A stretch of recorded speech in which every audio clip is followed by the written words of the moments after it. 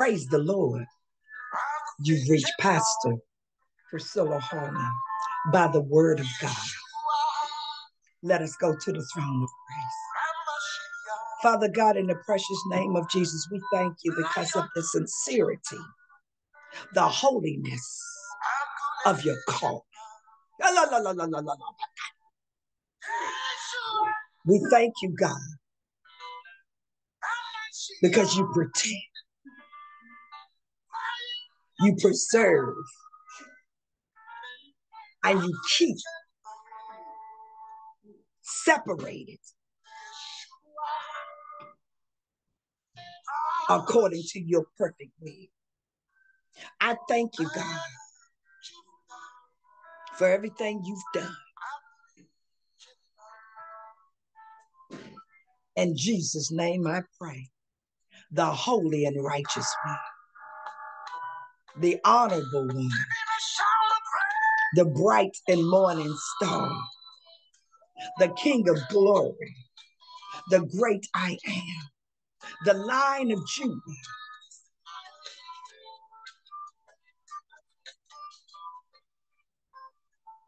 The Alpha and the Omega, the beginning and the end the wheel in the middle of the wheel.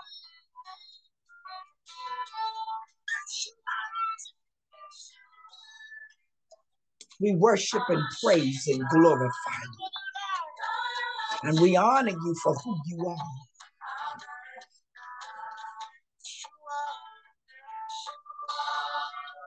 Thank you for your Holy Spirit that keeps and preserves unto your righteousness.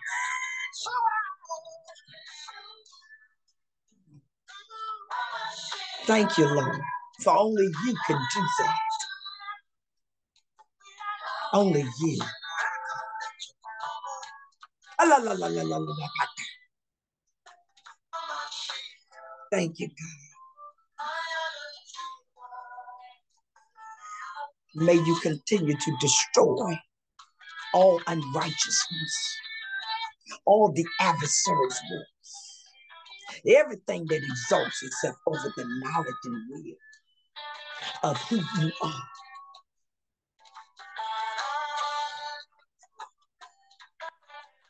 Thank you, Father.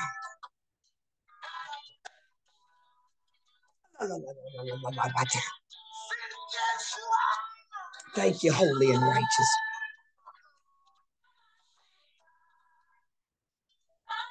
For true, you can do exceptionally, exceedingly, above all that we could ever ask or think, according to your power. Because it's about what you have, what you behold.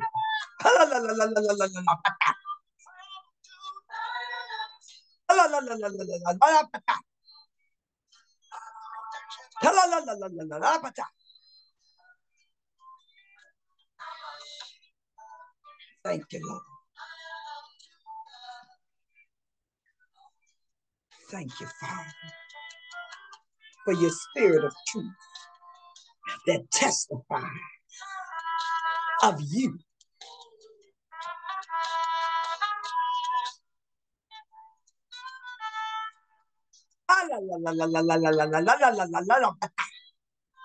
Thank you, God. And all will know the spirit of truth.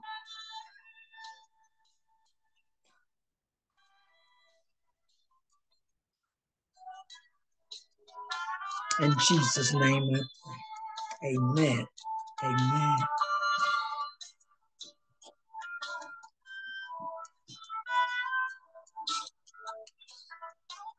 Jesus was right. He was right when he gave his disciples instructions before he left. And John. In the Gospel of John, he told his disciples, I'm going to give you a comfort. A comforter that this world will never be able to explain or understand or receive because they are spiritually in darkness and they will reject because they have not the spirit of truth and they will be deceived and be delusioned by much. But the disciples would have this. And this comforter would lead them and guide them in the spirit of truth and knowledge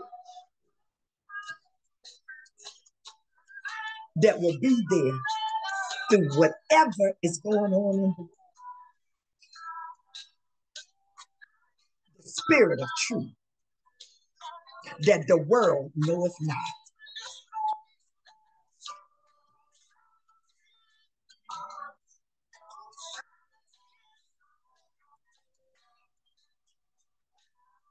The spirit of truth that the world cannot receive because it seeth him not. The world can't see the spirit of truth because it's too busy looking at carnality.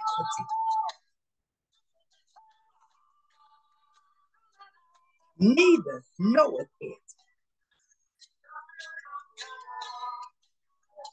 For he dwelleth in the vessels that desire the spirit of truth.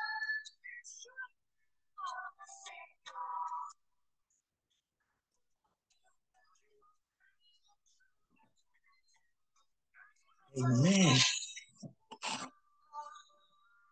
There's something when God brings about knowledge. So now we see why the Bible says many shall perish because they will not desire to see the spirit of truth. They'll be focusing on humanity over the spirit of truth.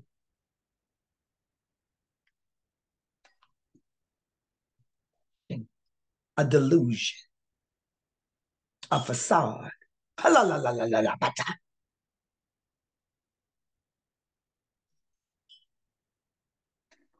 But he gave them something that would be with them to the very end of the world. The Comforter sent unto you from the Father, even the Spirit of truth, which proceeded from the Father. He shall testify of Jesus Christ. That's how you know the difference. By the, that can only come from God. And the comforter shall keep and preserve you. Comforter shall keep preserve you from the ways, from the mind of the world, from the acceptance of the world from the partaking of the word, from the dependency of the. And that's why they were able to endure and not be concerned of the world. They were in it, but not of it, because they had comforter to keep them from being. You can't keep yourself to be done by the God. Now unto him who is able, comforter, to keep you, to present you before his presence. You can't even present yourself. See, before a human king request, and those would come to the king to present themselves before the king. But we're not dealing with humanity we're dealing with divinity. And the problem is some are still in that mindset. They want to be presented before humanity. They've taken the lower standard, the higher standard, presented before Him. the now unto him that can keep you and present you. You can't present yourself. Yes. The only wise, eternal, immortal, and visible King of glory, the God creator. That's why you don't care about the ways of work. That's why you don't care about what's going on, not in alignment with God. That was the inner strength that the disciples had.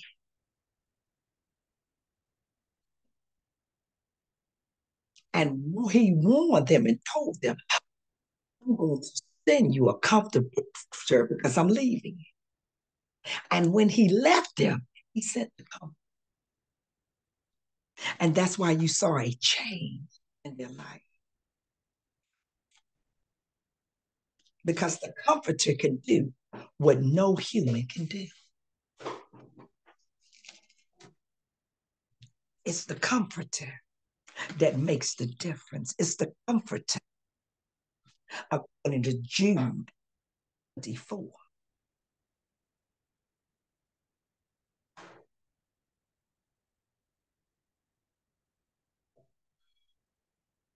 And we don't depend on the comfort.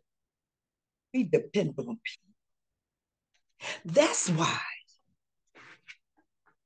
you will quite often see people exalted by people. And then when contention and division come, pull one another down.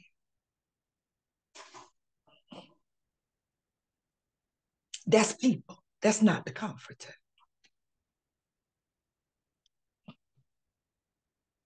That's why the disciples was able to be kept even into the time of their death. They were presented by God, comforter. They were given the spirit of truth.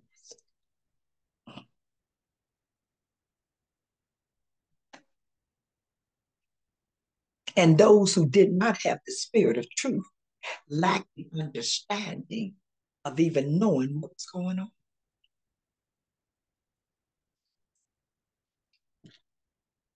What they thought was of significance was of little significance.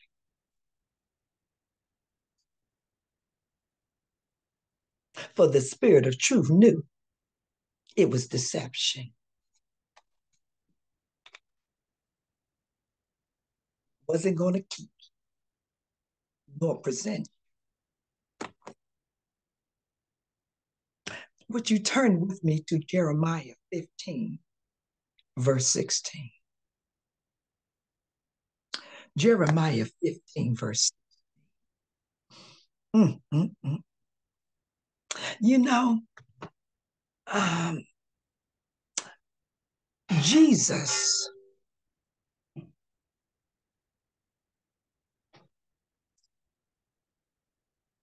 always functioned on the authority of God. The comfort will always testify on whose authority all things are being done.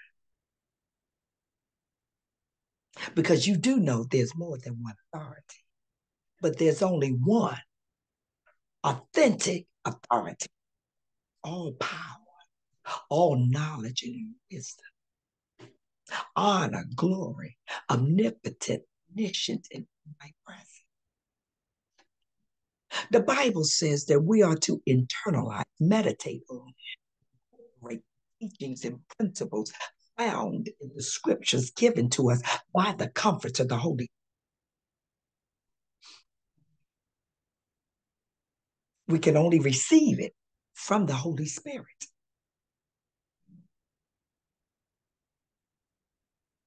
And so in Jeremiah 15, verse 16, it reads as that Thy words were found, and I did eat them, and thy word was unto me the joy and rejoicing of my heart.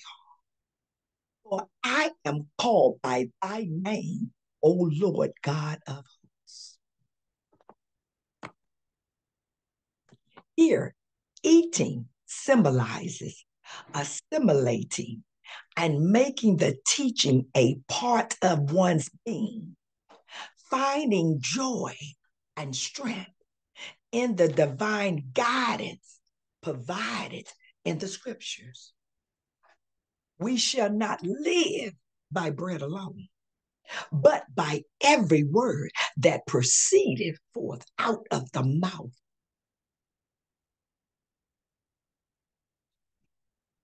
This is a way of expression, a deep engagement, a deep intimacy, a deep dependency, a deep acknowledgement that you have the spirit of truth that draws you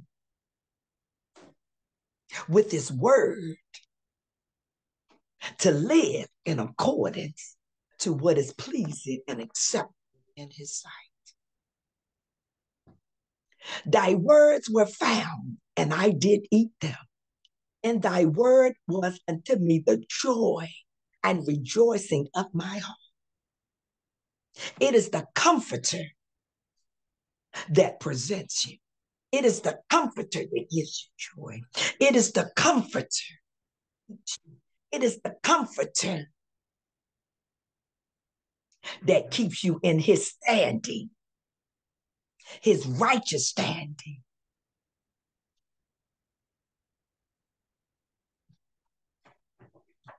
For I am called by thy name, O Lord God it is the comforter that operates on God's authority. Thy words were found. The phrase is illuminating a discovery, a reception, a embrace, a acknowledgement of God's word. A divine revelation that you can only receive from the comfort.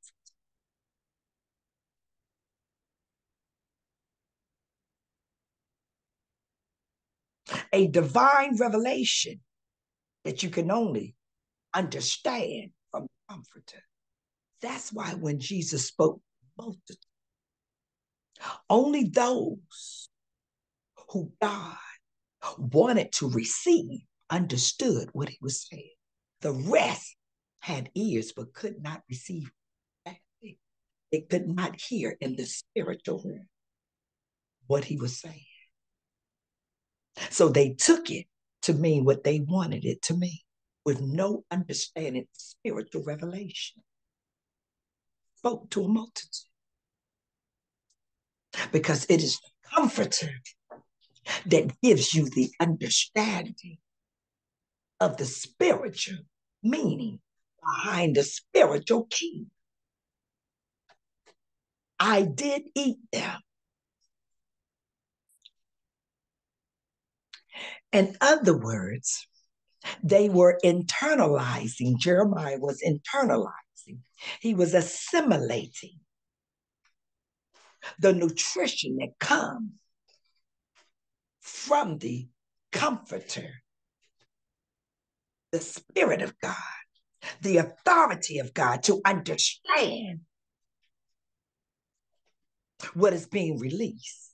That's why everybody don't receive the same understanding. They're not being authorized by God to know.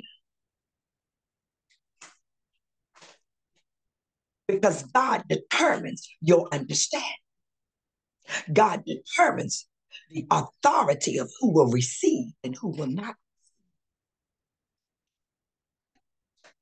It's all about God's authority. And you can only receive the understanding if God gives you the understanding. That's why Peter knew who Jesus was, but the disciples didn't. But yet Jesus chose all the disciples. But Peter knew. He only knew because God authorized him to know. And Jesus explained and said, You would have never known that had my Father not given you the authority to know. There are things that we will only know by the authority of Christ Jesus. There are things that we will only know by the authority of God. Internalizing, assimilating it, revealing it, and making it known.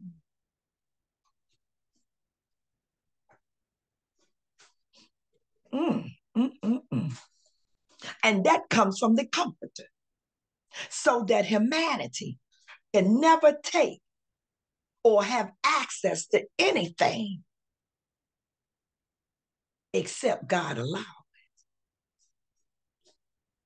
And we're living in the age of delusion, deception, where humanity think they can orchestrate, control, and know all things. The spirit of deception, the spirit of delusion. The Bible said he will release it, God. Why would God de- release a spirit of delusion in Thessalonians? He specifically said it because he knew many would not receive the comforter.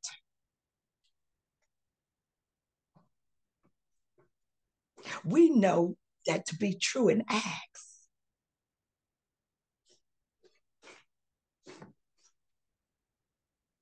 When they were preaching and the baptism of the Holy Ghost, and many received outpouring of the Holy Spirit. But Simeon wanted to purchase it. And They told him that he needed to repent, that his money perished because what he was trying to buy was a gift of God. The comforter is the gift of God. And we're living in the last end of time where many think their money can buy the things of God that money will never be able to buy.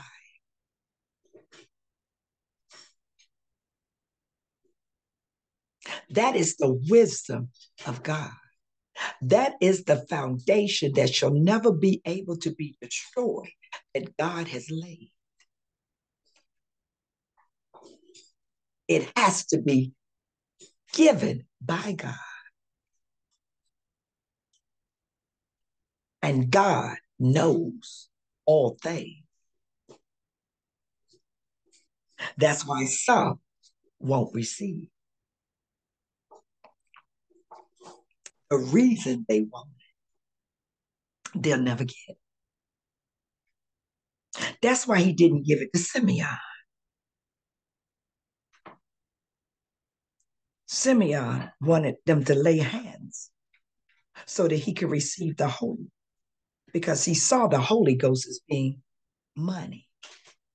He saw the outpouring of the Holy Ghost as being a means of money, making money from.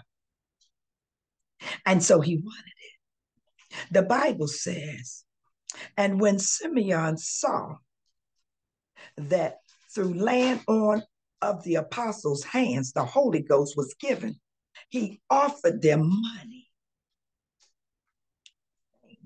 give me also this power that on whosoever I lay hands, he may receive the Holy Ghost.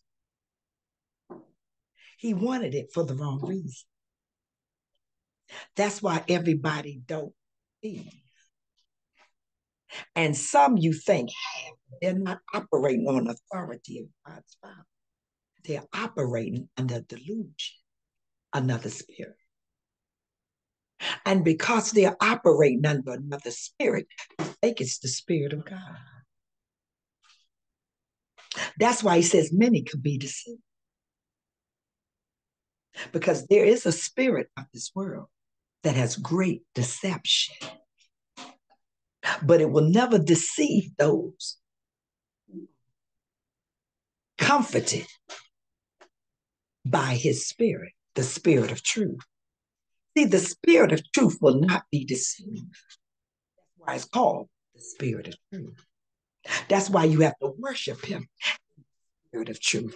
The authority is in the truth. And you can't take the spirit of you can't get the spirit to be given by God you to receive. No others can receive it except God give it. And so they had a problem with Jesus because they could not receive the spirit of truth. They had land, they had money, they had wealth, but they could not receive the spirit.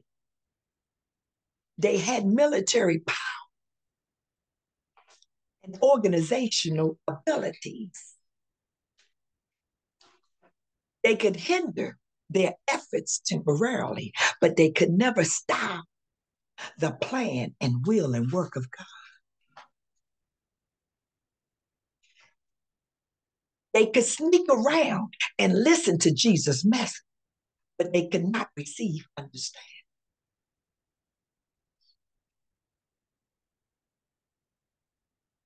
They could come and ask Jesus questions, but still could not understand because they did not want to receive authority from the Spirit of truth.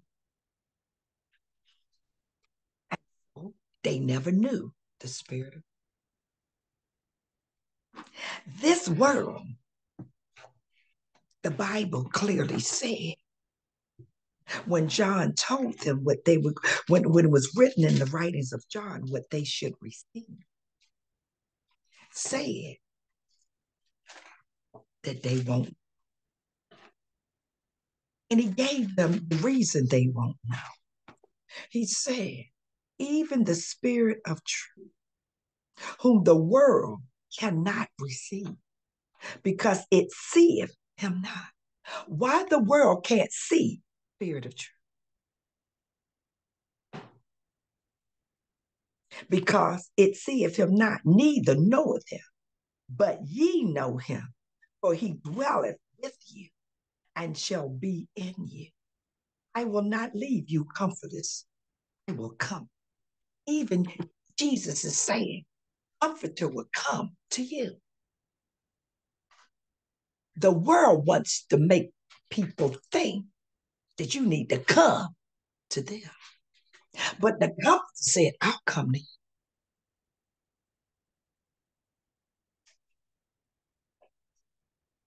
He said, I will pray the Father, and he shall give you another comfort that ye may abide with you forever. He said, I'll do whatever is asked in my name according to my will, because I'm the comforter that I gave. Came to you and gave it to you.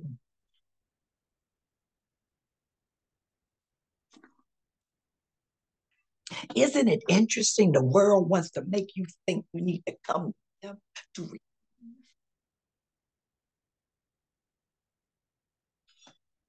When the Lord said, I'll come to you and give it something that the world cannot see and shall not receive. Because the world wants it for another reason to control it, to control you.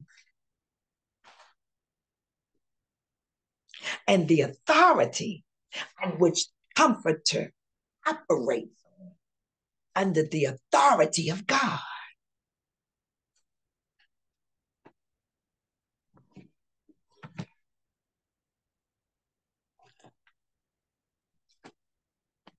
Be careful who you're trying to get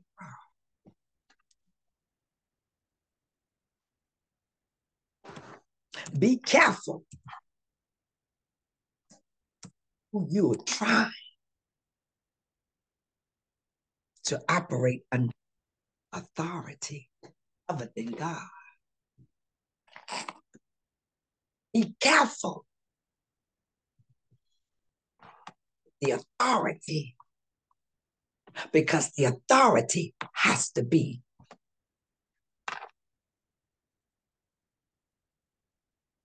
And let me give you a background of Jeremiah 15 before I finish the rest of that. Jeremiah 15 in that particular chapter, he is expressing his distress and frustration. Have you ever been frustrated and in distress? Jeremiah felt himself in difficult period. He speaks of hardships that he's facing. He's feeling abandoned. Have you ever felt abandoned and persecuted? Hardship. But he's going to God. Because when you trust in God and you go through things that are peculiar, peculiar meaning you know it's not normal. You know some things are coming from wicked plots, scams, schemes, flesh operating, spiritual operating. That is not God. You go to God because you have a relationship with God. And you're going to go to the one that you know is able. You're not going to waste your time with people that's not able. You don't care what they say. You don't care what they try to do. You're not even focusing. You're going to God for those who have a relationship, a true relationship with God. One that is founded on the spirit of truth. Because you know what truth. Because the spirit of truth will warm you inwardly, internalize. He will assimilate and reveal. And you'll go to the source of authority over all authority. Despite his dedication to delivering God's message. See, Jeremiah was under persecution because of the message gave him. Jesus was under persecution because of the message spoke on behalf of God. All the prophets was under persecution. Their message. But the message was coming from God. They were authorized. They were speaking when God gave them to speak. And the people came up against God when they came up against them.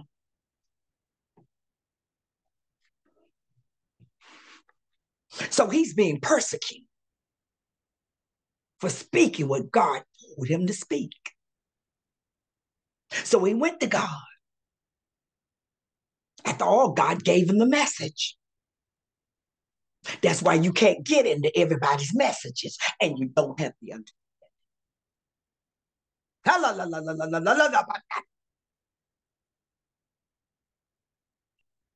And so Despite his dedication to delivering God's messages, Jeremiah faced opposition and suffering. And in this chapter, chapter 15 of Jeremiah, God responds, reassuring Jeremiah of his presence and advising him to repent and turn back to God for strength. Now, why would Jeremiah have to repent and turn back to God for strength if he's preaching God's messages. Because sometimes when prosecution comes and hardship because you're preaching what God is giving you, You become a little unstable if you allow the people's opinions and their ways to sway you, to intimidate you.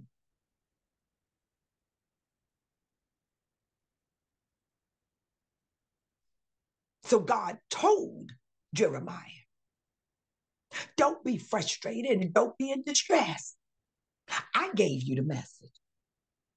And if you're focused on people, you're going to be frustrated and distressed.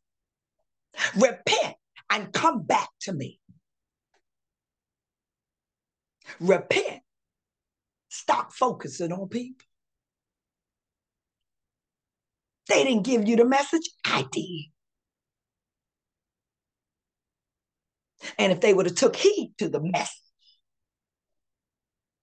they would have known it came from the spirit of truth. But they have not the spirit of truth. So they can't receive the message. So they'll make it what they want to make it about. Only what they can receive.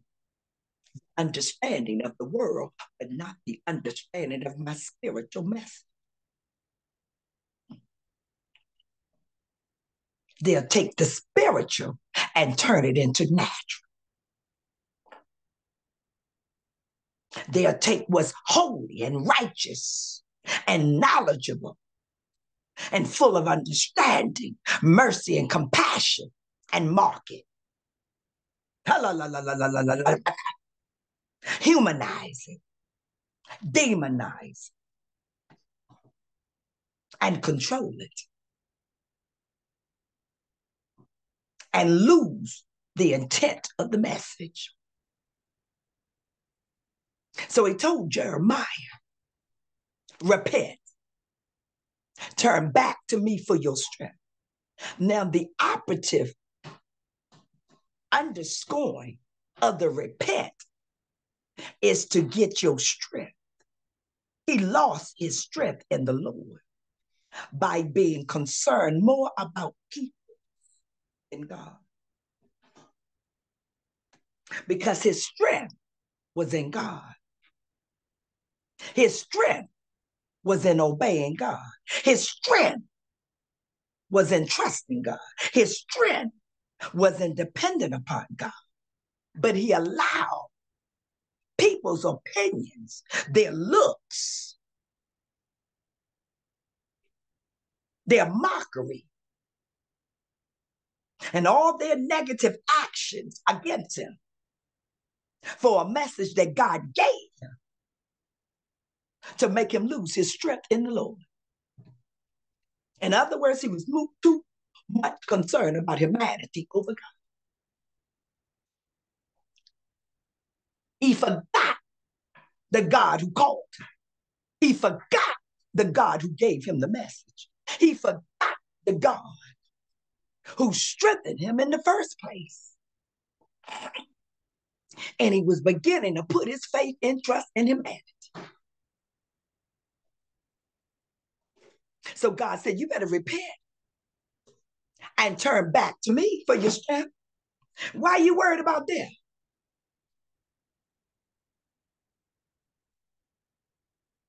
That's why I gave you a message to warn them. And if they had taken the message, then what I'm about to do would not come upon them. Because I don't send a message that I don't fulfill except they repent. The overall theme around the challenges that the prophet Jeremiah experienced was that God's encouragement to preserve in you in your faith. God encouragement to pers- persevere in faith. God's encouragement to persevere in faith. When you are doing what thus says the Lord, do you not know that God will encourage you? You don't need people to encourage you. God will encourage you. He will encourage you to persevere in faith. Jeremiah needed to persevere in faith. He had become so distressed by people's opinions, by their rejection, by their actions, by their doings. Because you know, the devil gets mad when God sends a message to tell the people, you better come more sensitive to God's ways.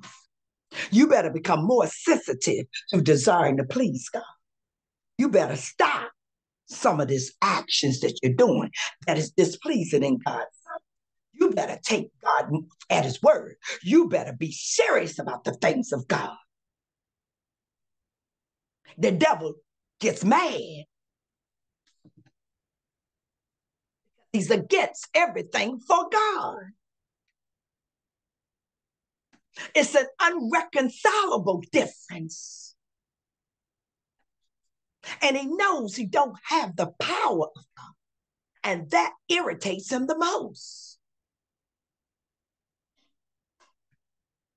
And he don't want you to know. So he sends delusions, make you think he's greater, make you think he's more knowledgeable, make you think he can do something.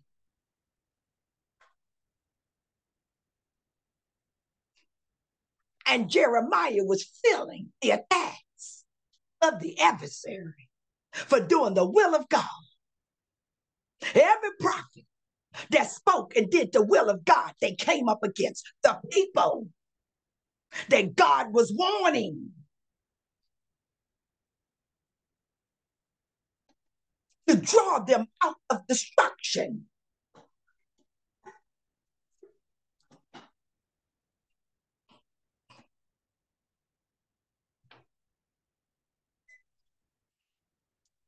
So God gave Jeremiah a reassuring response.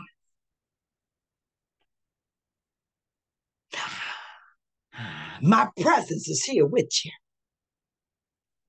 Repent and turn back to me for your strength. See, the problem with humanity is when they go through something for doing right for God. I'm not talking about doing wrong. There's a difference. When you go through something for doing what God tells you to do or tells you to say, you cannot allow people to make you change your mind about what God has you to do. For the adversary will come up against you to make you doubt God. And then you begin to try to please people.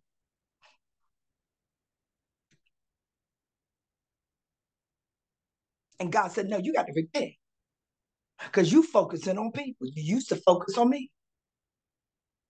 Now you're focusing on people. And if you focus on people, your message and your actions will always be to try to please people. And that will never please God.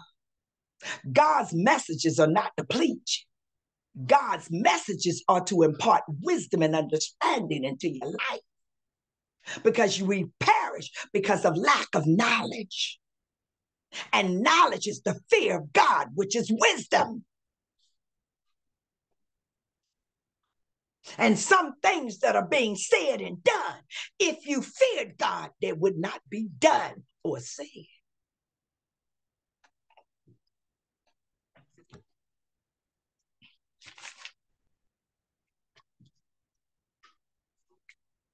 So, Jeremiah chapter 15 is allowing you to know that you can go through challenges for being obedient to God. Look at the disciples, look at Jesus, look at all the prophets.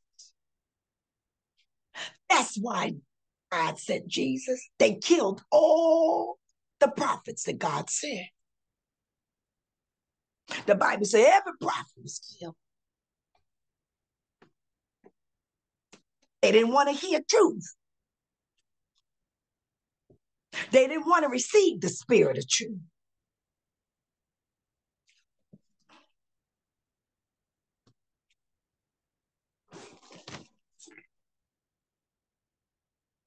Because the spirit of truth don't make you feel good.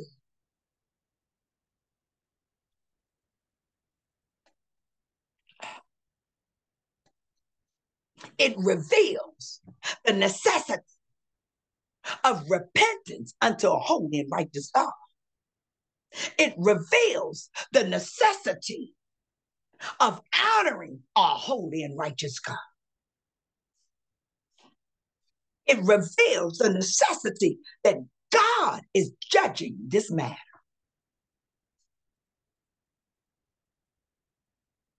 And God's judgment is righteous.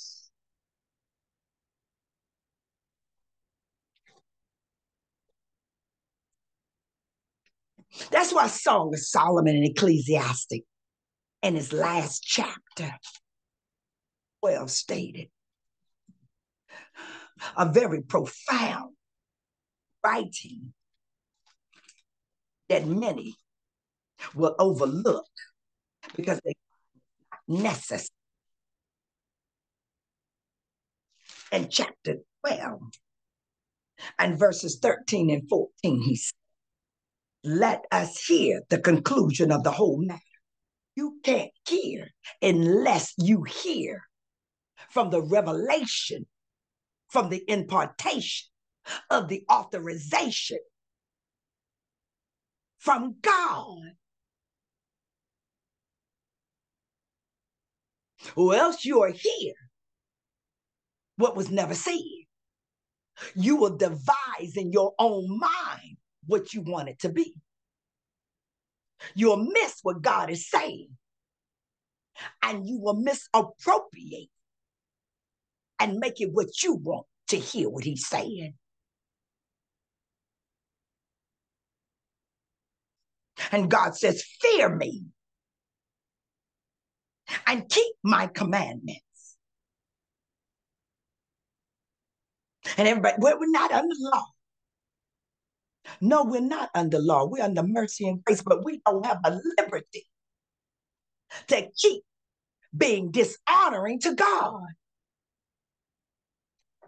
Because those who fear God will not continue in paths that are dishonoring to God. I don't care how you got there. There comes a point where you receive knowledge and understanding that is wrong and you repent and go back to God. Jeremiah, God said, repent and return back to me for your strength, your strength to remain pleasing in my sight, your strength to obey me, your strength to follow me, your strength to reject the opposition that's coming up against you. Because if you don't, you just go with the flow.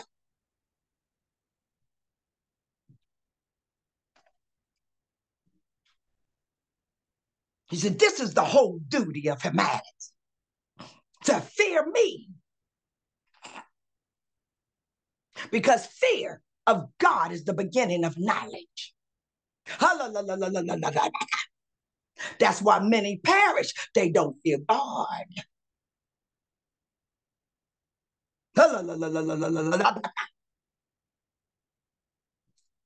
Not the fear that we perceive as the word. It's the fear of the knowledge of knowing who God really is. Do you not know that God can end everything in a twinkling of an eye? Do you not know that there's nothing that's ever been created that God cannot stop? There is none one greater than God. There is no one holier than God. There is no one more righteous than God. There is no one more knowledgeable than God. There is no one that beholds more understanding than God. There is no one more powerful than God. There is no one more sovereign than God. There is no one more almighty than God. There is no one more worthy than God. And some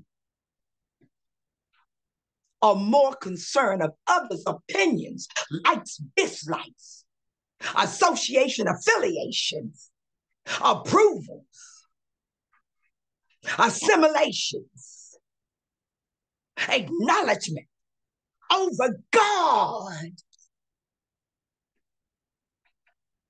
Some are more concerned of others' authority over God.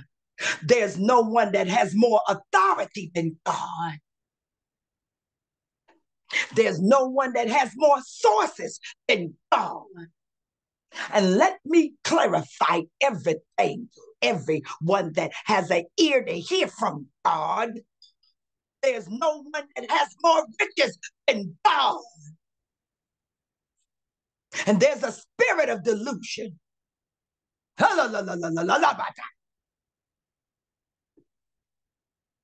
And your desire and covet after deception.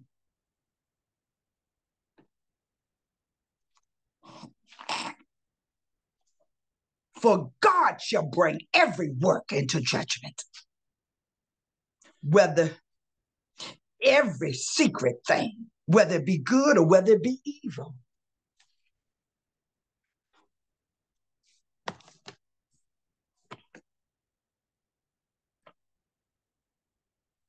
Makes no difference how you find yourself in the predicament you're in. God says, repent and turn back to me.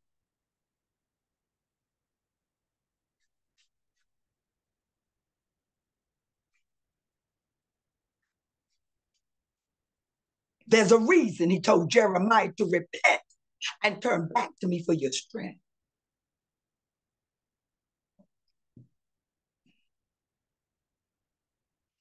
He was becoming weakened by the persecution.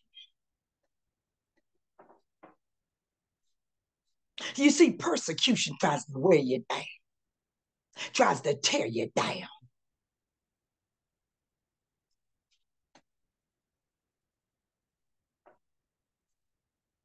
Tries to break you down, tries to destroy you.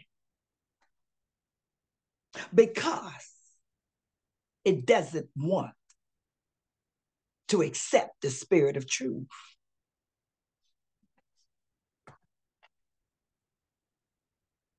It puts evil out of business when the spirit of truth is magnified and made known. You won't follow unrighteousness. We know that to be true. That's why the silversmiths and Acts were upset. They didn't care about God.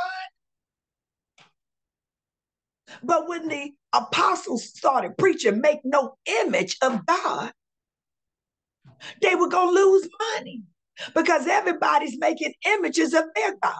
And when you converted to Christianity, there was no God to make image of. So they saw themselves going bankrupt, out of business. And they were angry because they couldn't sell the goddess Diana and make all the money in Ephesus.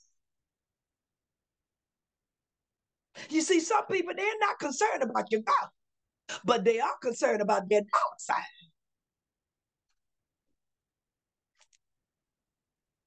Just like they weren't concerned about God when they put Jesus on the cross.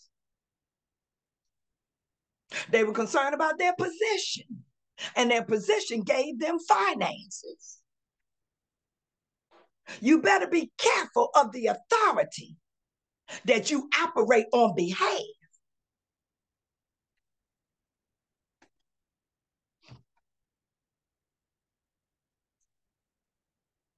So the Bible says, I did eat them. I eternalized the message, the word from God. I allowed it to enter into my inner being and strengthen me. Strengthen me in knowledge and wisdom and understanding. Strengthen me because the outward man daily perishes, but the inner man is renewed daily through the impartation of the nourishment that we receive from God.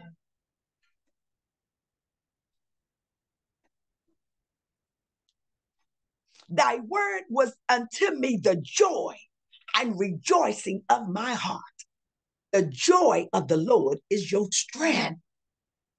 Jeremiah, repent. Turn back to me for your strength, your joy. The devil wants to take your joy because your joy in the Lord is your strength. And he doesn't have no joy. He doesn't have the relationship with God.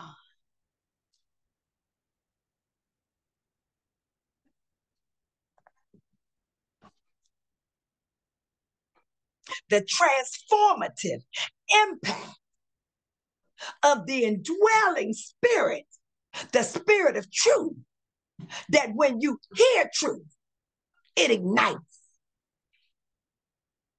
When you see the spirit of truth, it ignites. Because truth knows truth.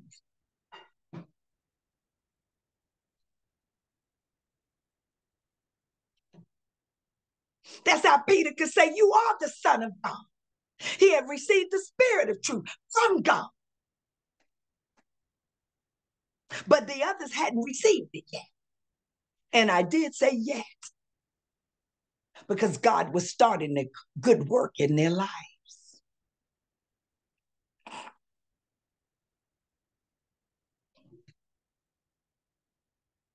They were blind, but yet He selected them.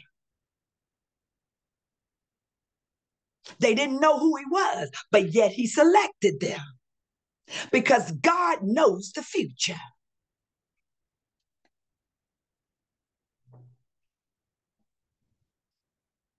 And then he outpoured the comforter, and they knew him unto death. It's impossible to have tasted and turn away from it.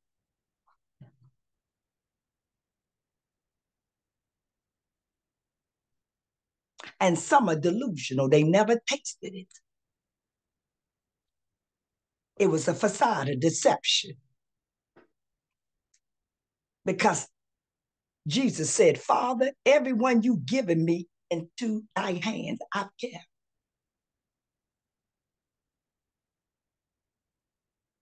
If you're in his hands, he's going to keep you.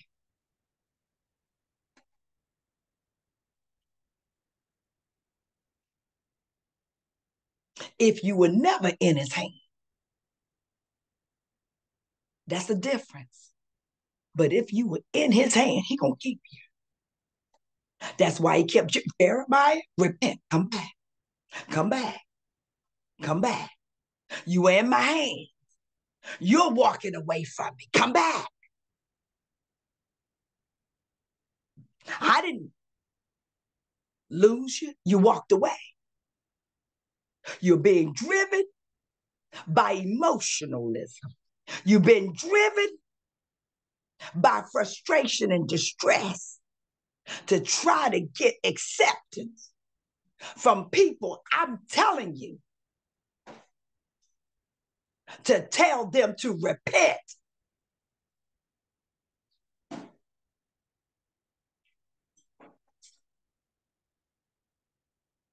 And now you want their acceptance. Everybody doing what they think is right in their own sight. And I'm telling you to give them a message to let them know I see it all. And I have a problem with everybody. Repent. I don't care how you got there. Don't tell me that somebody did this to you. I don't care. Get out of it. and stay out of it. Repent and come back to me. Have ears to hear from me and eyes to see of me that only I can reveal to the Comforter.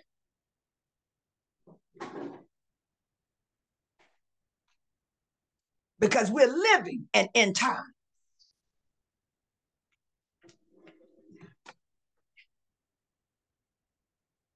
And it's my joy that gives you a rejoicing heart, a transformative impact of God in your inner being. And I'm not just talking about preaching the word, I'm speaking about living it, living for God.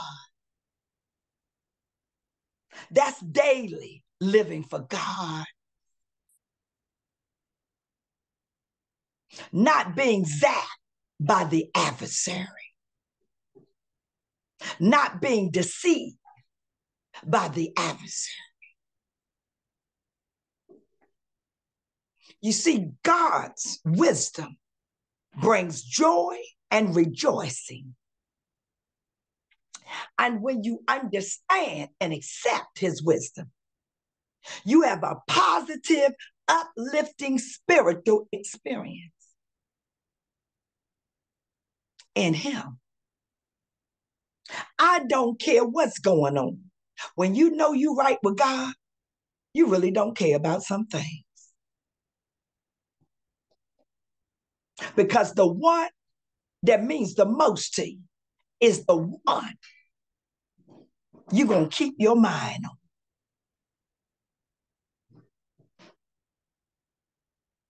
That's why the adversary will try to use people they think are close to.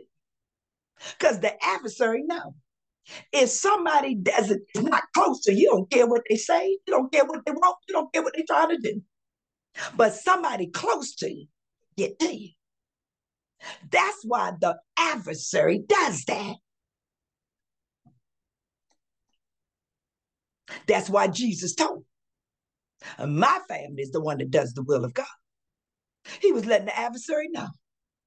You can come up and get in my family all you want to to come up against me. They'll just be a person like everybody else. In God's sight, they better do the will of God.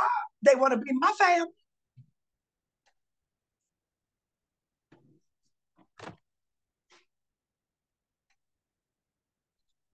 See, you have to understand from the comfort of the spirit of truth why God spoke certain things.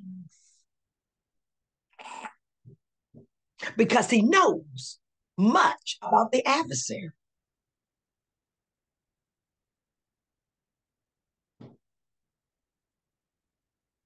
He knows a lot about the adversary. That's why the adversary tried to get into the disciples. They were close to Jesus, they were around Jesus.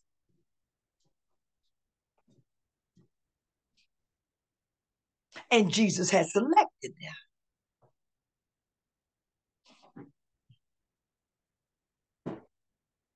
But it doesn't work when you obey God and you receive what God is giving you. For I am called by thy name. Who's calling you? On whose authority are you operating under?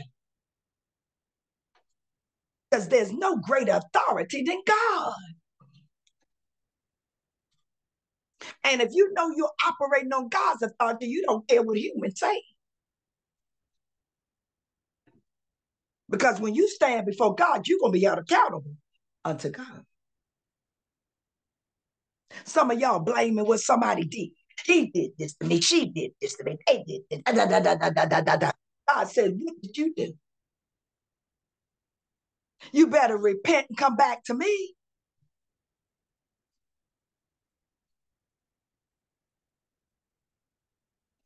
You see, Jeremiah acknowledges identification with God. his belonging and divine affiliation. Who are you trying to belong to?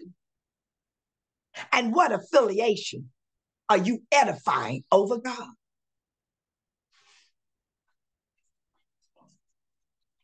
Being called by God's name implies a special relationship and a recognition of a divine calling or purpose.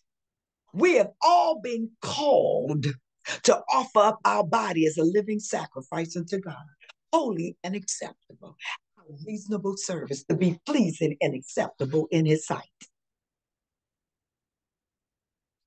A special, significant relationship with Him.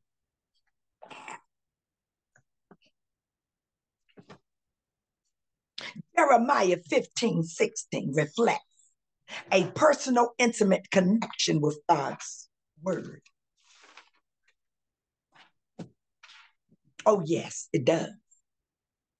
Eating underscores the profound internalization of the impartation of his nutrients that builds up this body. To be knowledgeable of what is acceptable to God as he reveal it to you through the spirit of truth.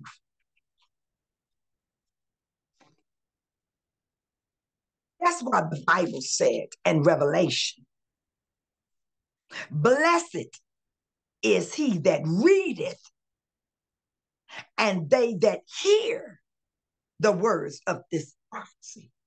You can't read it and receive understanding except the comforter gives you the spirit of truth. You can't hear it and receive understanding, except the Comforter gives you the spirit of truth.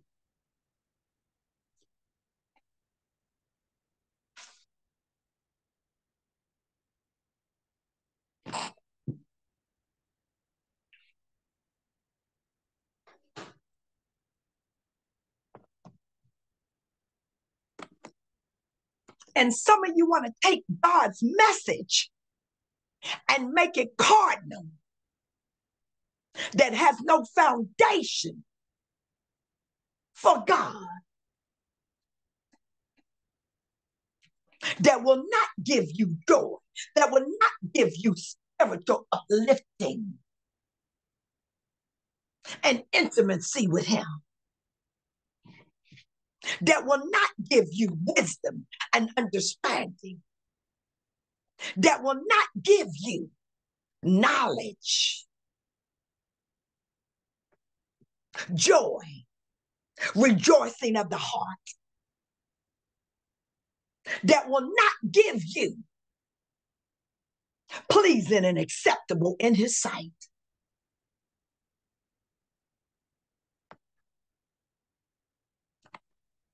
Isn't it strange that after Jesus got baptized with the Holy Spirit in the writings of Matthew 4 4, and he goes into the wilderness to be tried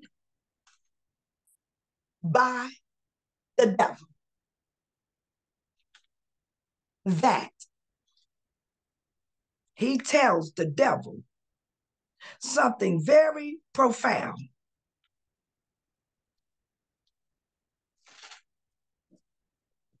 Mm. It is written, man shall not live by bread alone, but by every word that proceedeth out of the mouth of God. And what are we into today? What have we prioritized over God? Hear from the Spirit of truth. Hear from the Comforter that the world will never receive because it can't see it, because it has not it. Repent and turn back to the Lord.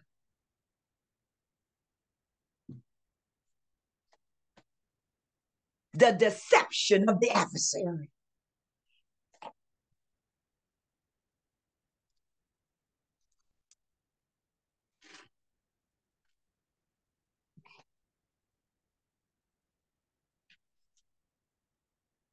You can only hear and receive by the Spirit of truth. And it is God that imparts, it is God that gives it is God that reveals, it is God that upholds, it is God that will quicken your spirit and make you get it right if you want to know truth. You have to ask him, and he'll come to you and give it to you.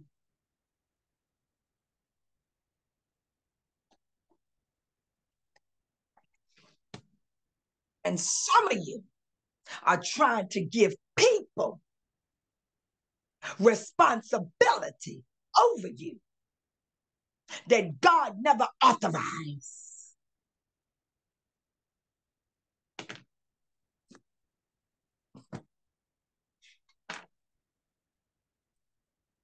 God's encouragement to persevere in faith. Jeremiah had to be encouraged by God. We all have to repent. Everybody has to repent. Everyone has to repent. Everyone.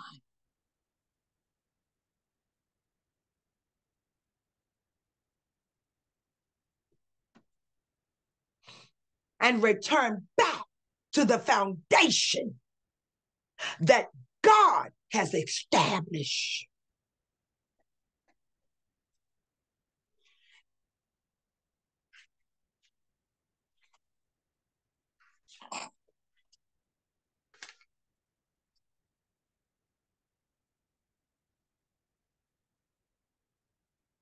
He is so loving. He is so forgiving. He is so knowledgeable. And we've been created for his pleasure. But we better know the limitations. We better understand the principles and standards of his pleasures. It is not worldly pleasures. It is godly pleasures.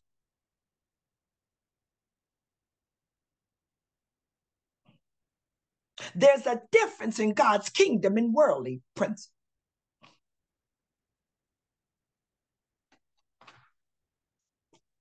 It's like the world have their riches. God has his riches. Just like the world has their pleasures, God has his pleasures. Just like the world has their authority, God has his authority. Just like the world has their spirit, the spirit of delusion, the spirit of worldliness, the spirit of wickedness, God has his spirit, the spirit of the comforter, the spirit of the Holy Spirit.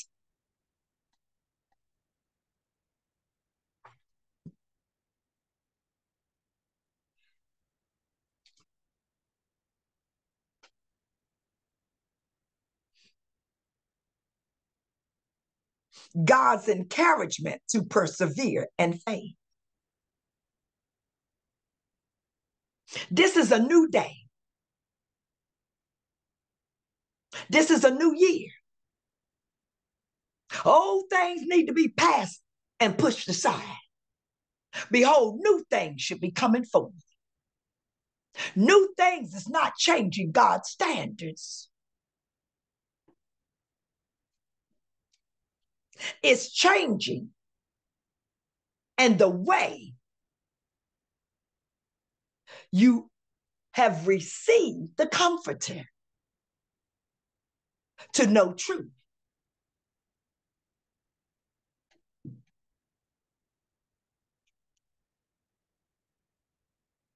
If you're in the hands of God, you can't be plucked out, but you can walk away from his hands. And to others' hands.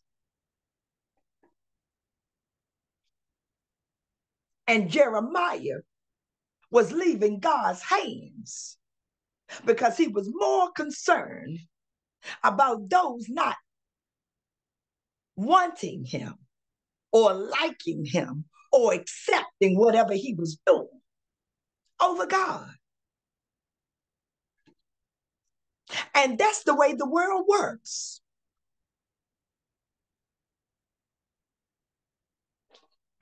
That's why you have so much.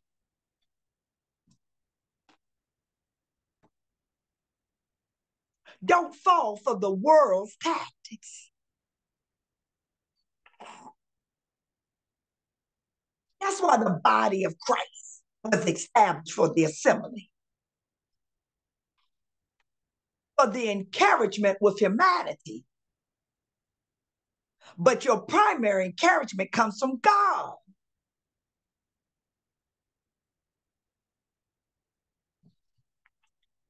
And the people of God should never be allowing some of the worldly ways to overflow and to anything they accept.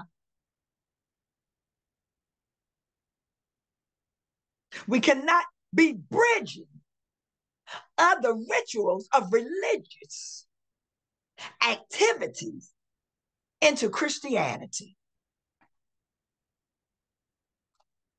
And there's a lot of bridging, sometimes unbeknowingly. We can't get in it. That's what fasting and praying is for to strengthen the inner person, to let the inner man become stronger than the outer.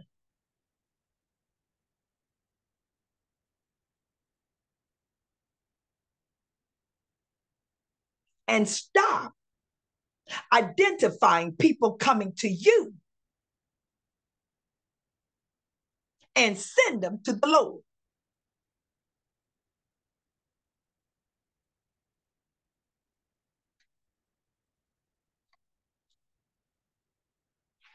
The Lord said, I'll come to you.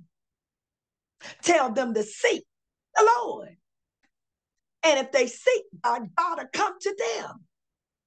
Stop doing it the ways of the world. The world always wants you to come to them. Everything is set up for you to come to them.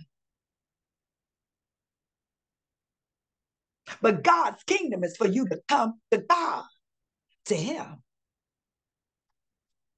That's the difference.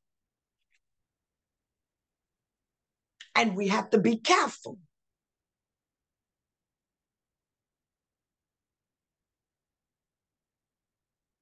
We have to be careful. Let God do what God is doing. Trust God. Trust God. Because we're living in latter days. It's going to be a lot of uncovering and revealing from God. Because when you don't take heed to God's messages, he fulfills everything he sends as a warning. God always sends warnings before he passes his actions.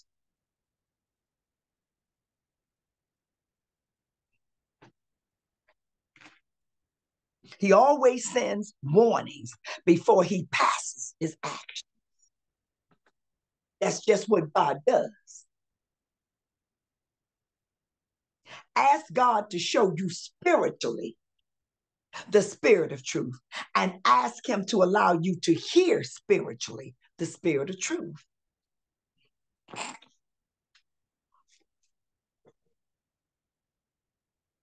Because that's who God is. And never let anybody identify you with God. You see, I'm identified by God. If it's not his principles, I'm not in it. I don't care what you identify me as.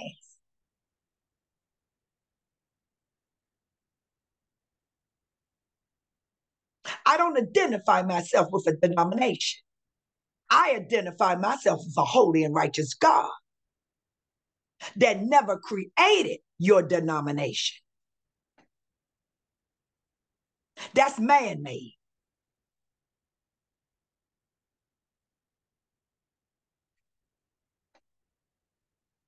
And that's okay to have it if that's what you want. But make no mistake, no denomination has authority over God.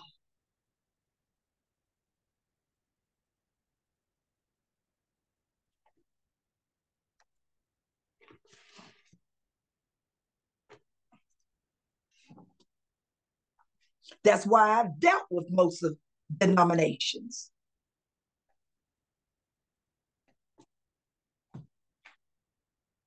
Because if you're authorized by God, then there should be the spirit of truth.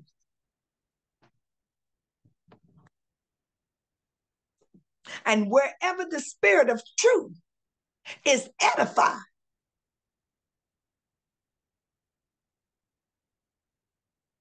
that's authority.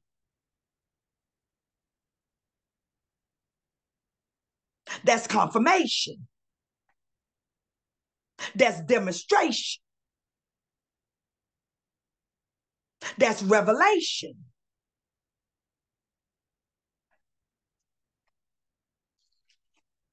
And that's acceptable.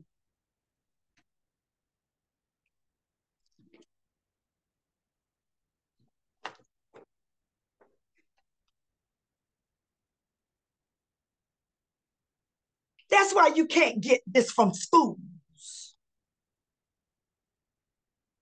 I don't put my faith and trust in academic educational systems. You better know God. You have all this software. You have all these books written by humanity, all these software created by humanity.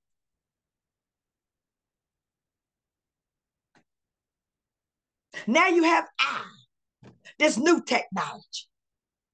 You better know God. Because all of this can teach you a doctrine. You have Bibles being rewritten.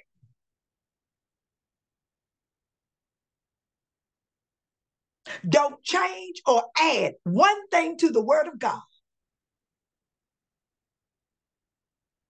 You have some scripture missing out of some translations of Bibles.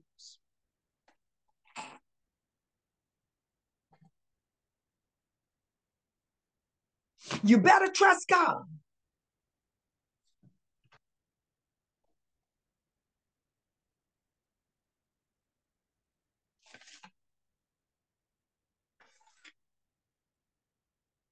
God's encouragement to persevere in faith.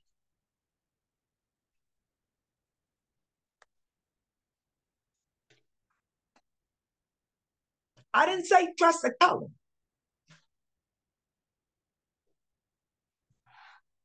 I warned y'all about trusting colors. You better trust the heart and mind of God. You better trust the comforter that is the spirit of truth.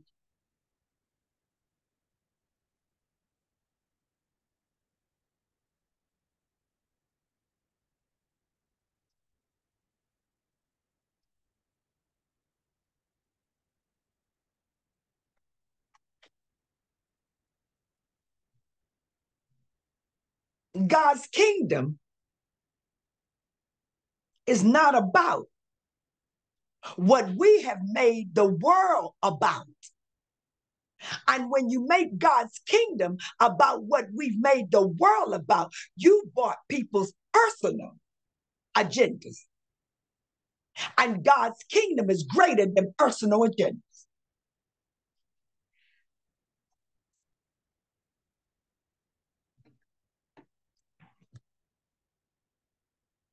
That's why Jesus said, My family is who does the work of my father. If it was personal, it would have been just about his family. We wouldn't have been included. We weren't born into his family in the physical sense.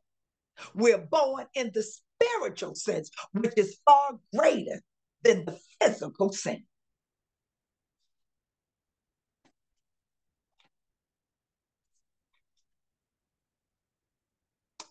For those who want to think somebody doing something for somebody, that God was the only one doing.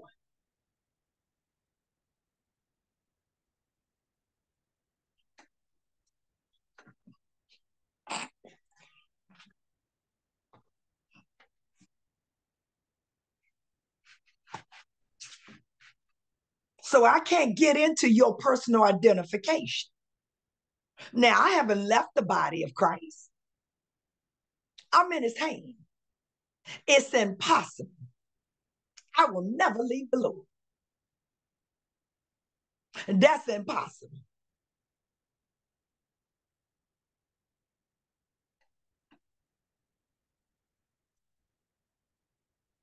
But I will not be identified by elements God has not authorized.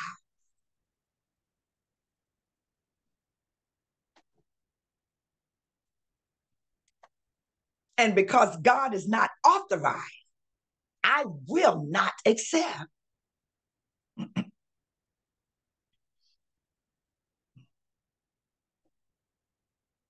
See, that's what God does when He selects you. He knows everything. And here, Jeremiah, the same prophet who wrote Lamentation, who was in distress and concern of all that was happening,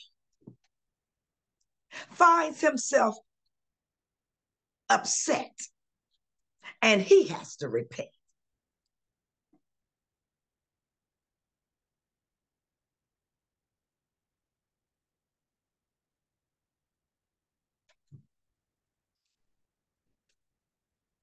And when he wrote Lamentation, he was such much in distress because he saw their nakedness. In other words, he saw God uncovering them. Going back to Genesis, when they disobeyed, they were uncovered. Meaning, God removed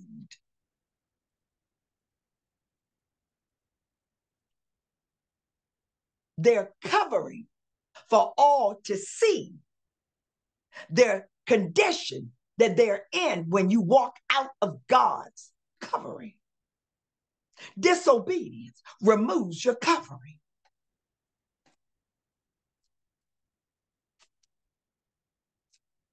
And if you remain consistently in disobedience, then you'll have a strong delusion. That's why he told Jeremiah, repent and turn back to me. Because Jeremiah was walking outside of his company. You can't let the ways of this world pull you away from God. Just because somebody got a problem with you, who cares? That's insignificant. when you're in the will of God. They had a problem with Jesus. He wasn't trying to please everybody. His concern was to please the Father. On whose authority are you respecting more, God's or people?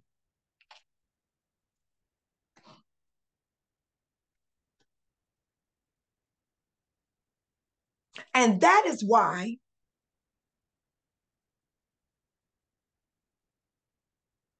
it is necessary to have a true relationship with God. Meaning you're not going to waver between these opinions. The only thing you're going to fear is the Lord.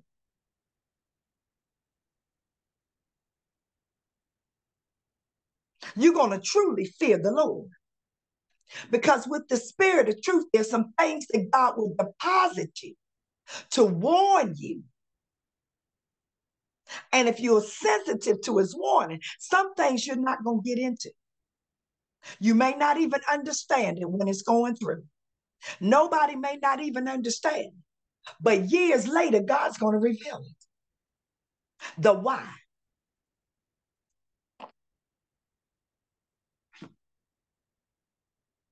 That's why you have to trust God. If Jesus would have trusted his mother and father, he would have never went to that cross. Because they would have never wanted him to go to the cross. And that's natural. They don't want to see their son dead. She didn't want to see her son crucified. But this was bigger than his mother and father. This was about God's kingdom. This was not the will of humanity. This was about the will of God. And that's what God was telling him. This is not about the will of humanity. This is about the will of God. Be careful about the will of humanity being over the will of God. Nothing is higher than the will of God. And that's a warning. And Jesus was explaining to them this is about the will of God. Even when he told Peter, this is more than the will of man, the will of humanity. I know you love me, Peter, and you don't want me to have to go through what you think I may have to go through because you know the people don't like me. So I understand. But this is greater than the will of humanity. This is about the will of God that knows better. Because if Jesus had not fulfilled what he did and had listened to Peter, Peter would have never received the outpouring of the Holy Spirit. And so the Lord said, This is about the will of God. Don't find yourself entrapped in areas that are used as distraction that will lure you out of the hands of God. Now, I preach all the time and teach all the time here, but I encourage people to connect with a body of Christ.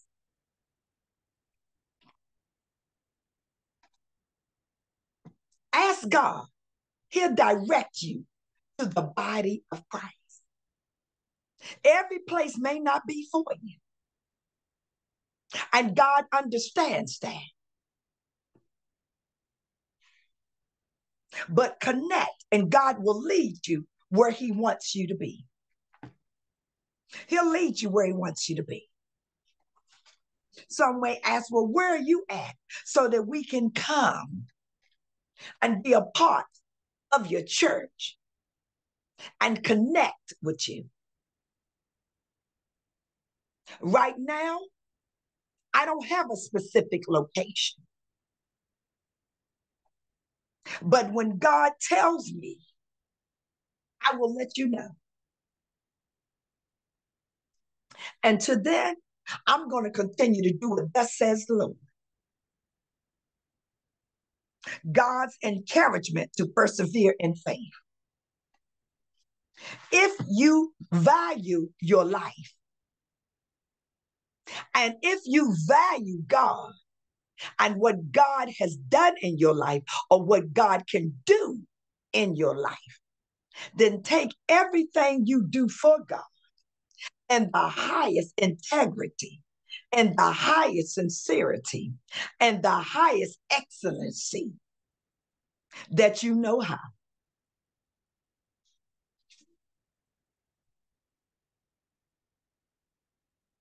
It is of great necessity to trust a holy and righteous God.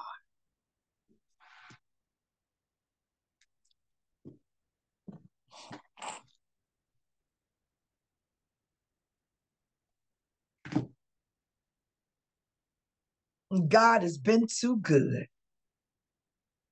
Let God come and indwell within you. Let him indwell within you. I'm not doing anything. I'm not doing anything under the authorization of humanity. I'm functioning under the authority of God.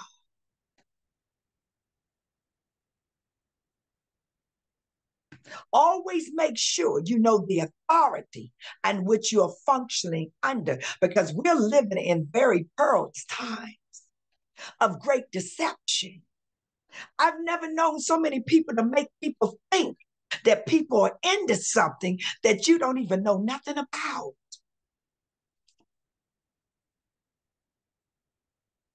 And you have to be very careful, very, very careful, very careful, very careful. And Jeremiah saw himself becoming engulfed with that. That's why God told him repent and turn back to him. Because if you don't, you will find yourself being pulled in different directions and not know what God is doing.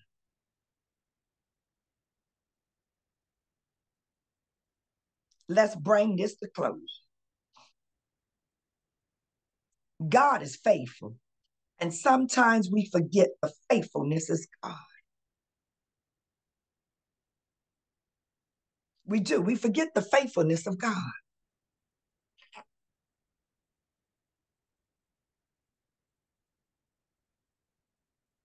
We forget the faithfulness of God. I don't care what somebody may have started in.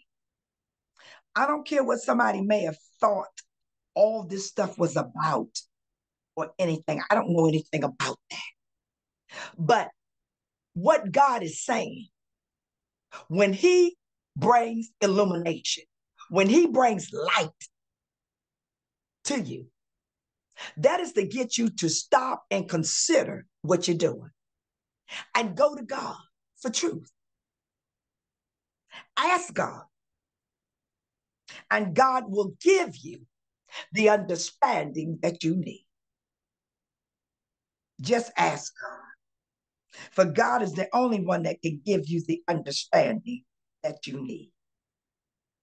I am so thankful that I'm dependent and trusting in a holy and righteous God. Because I was called by God. I don't have an allegiance to anyone or any other organization or any church affiliation over God. God is my allegiance, the Lord God. I, I, I don't have no no affiliation. I'm not into your family of God versus your personal family. I, I'm not into that. I'm just preaching and teaching what the word of God says. And you can go to God for your life, for your situation, and get him to give you clarification. The spirit of truth will reveal the spirit of truth.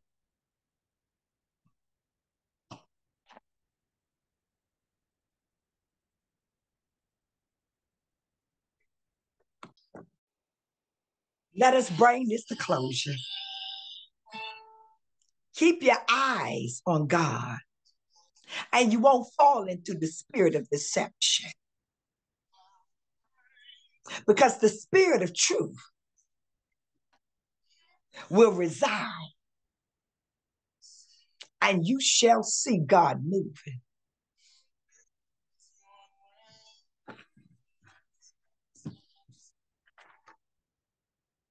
When God orchestrates and do what no one can do, He operates in miraculous way. Know that God is great and his mercy is great. Oh, he's worthy.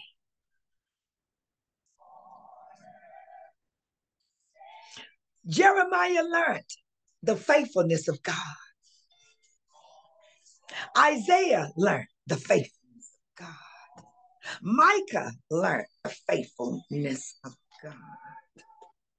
Joshua learned the faithfulness of God. Abraham learned the faithfulness of God. Mary learned the faithfulness of God. Elizabeth learned the faithfulness of God. Sarah learned the faithfulness of God. Moses learned the faithfulness of God.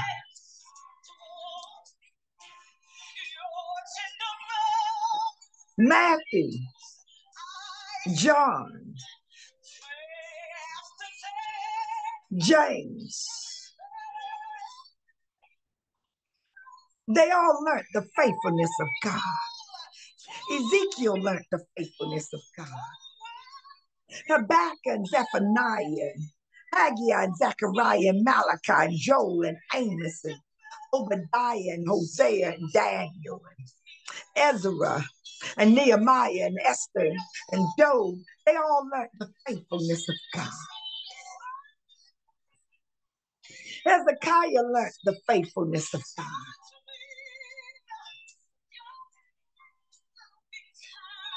There is something about taking heed to the spirit of truth. You learn the faithfulness of God.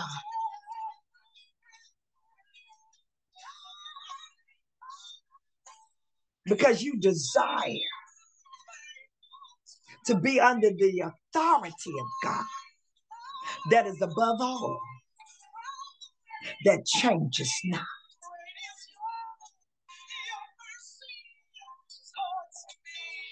And you receive what you can never receive from humanity.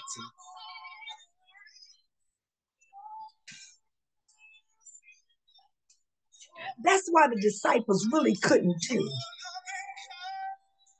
what they could do until they received the comfort. And it's called the comforter because it keeps you, it comforts you. When humanity can't comfort you, God can. When humanity don't even understand what you're going through, God does. That's why it's called the Comforter. The Father of mercy and the God of all comforts.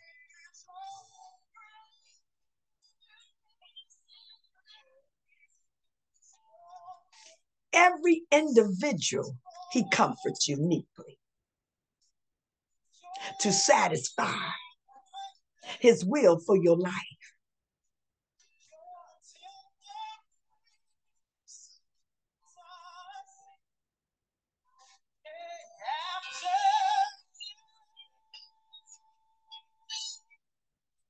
Trust him.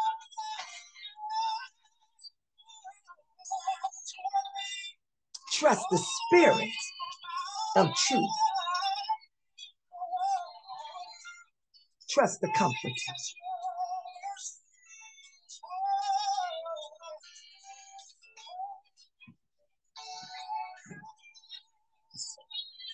That will be with you and to the very end of it all. That will never give you more than you can bear. That will lead, God warn, and provide in ways you can't even imagine.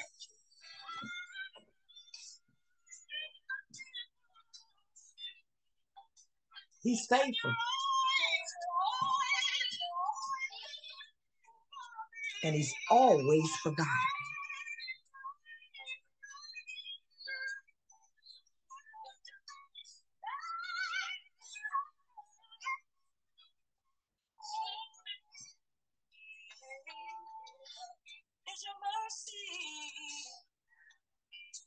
Bible says his mercies are new every morning.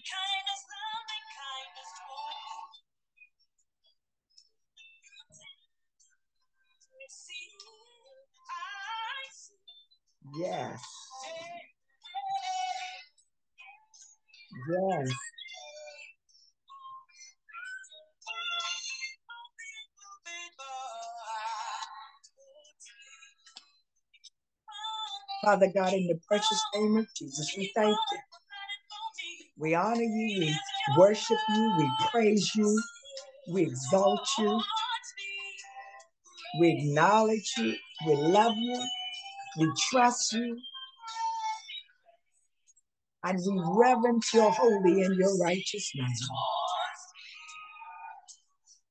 We thank you for your spirit of truth. We thank you for your revelation of truth. In Jesus' name we pray. Amen. Amen.